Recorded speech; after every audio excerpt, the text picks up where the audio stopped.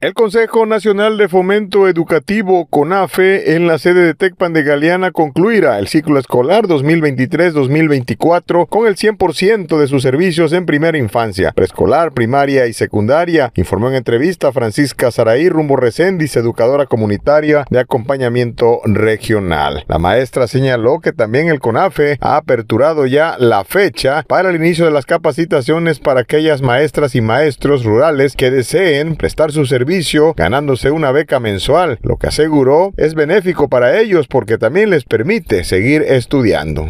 Eh, ¿Con qué actividades concluyeron? Eh, con lo que fue las calificaciones del trimestre del último ciclo ahorita escolar. Eh, obviamente se concentraron aquí en la sede para dar toda la información los maestros comunitarios. Sí, claro, aquí fueron, este, fue la última, como por así decirlo, la última capacitación de ellos aquí en la sede. Okay. Ahorita, ¿qué es lo que sigue? ¿Qué están haciendo? Ahorita estamos, este, pues ahora sí que en lo administrativo, por último, ¿no? Ya a partir del 29 de julio, pues se les invita a los nuevos jóvenes que quieran incorporarse para el siguiente ciclo escolar, que es el 2024-2025. Empezamos, como dije, 29 de julio en las instalaciones de la Escuela Vicente Guerrero con un horario de las 8 de la mañana a 5 de la tarde. Para el próximo ciclo escolar, ¿cuántos eh, eh, maestros eh, deben o piensan ustedes captar para ah, garantizar el 100% de los servicios?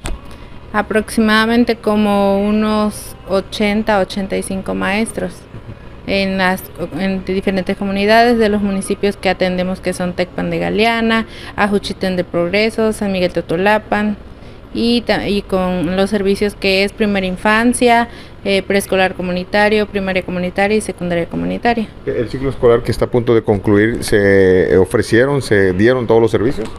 Sí, eh, pues eh, desgraciadamente ya fue al último que se dieron de baja a los maestros, pero la mayoría del ciclo escolar contamos con maestros activos de los maestros que ustedes piensan captar, ¿hay muchos que van a, repetir, eh, van a, seguir la misma secuencia?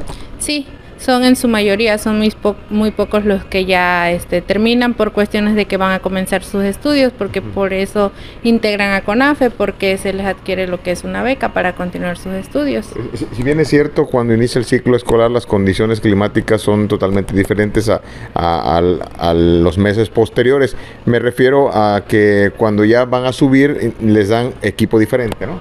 Sí, claro, se les da este, por ejemplo, ahorita llegaron materiales, se les da equipamiento a ellos, también a los este a las comunidades, a, a los servicios educativos donde estamos este, prestando el servicio y posteriormente pues bajan los padres de familia por ellos. Eh, eh, esto ha sido importante para ustedes porque eh, si algo han tenido es la coordinación con los diferentes representantes de cada una de las comunidades, en este caso comisarios municipales o ejidales o delegados. ¿no?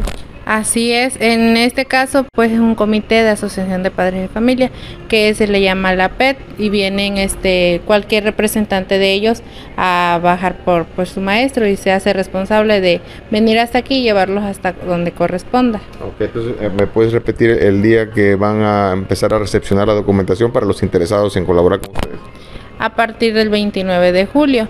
Ya pueden hacer su registro, tenemos una página que es de Tecpanconafe, ahí este pues publicamos lo que es el link de la página y también los números de teléfono de aquí de la oficina.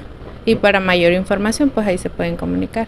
Rumbo Recendis destacó también el apoyo de parte de los padres de familia y de las autoridades locales, en este caso comisarios municipales o comisariados ejidales, quienes siempre han mantenido un compromiso con las maestras y maestros en cada una de las comunidades. Con esto se genera también el compromiso de CONAFE de garantizar todos los servicios y apoyar en la educación de los infantes.